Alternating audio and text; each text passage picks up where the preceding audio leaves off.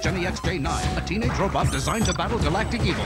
Like this guy, that guy, and this guy here. Resistance is futile, XJ9. XJ9 is a robot with butt stomping gadgets like this thing, that thing, and this thing here.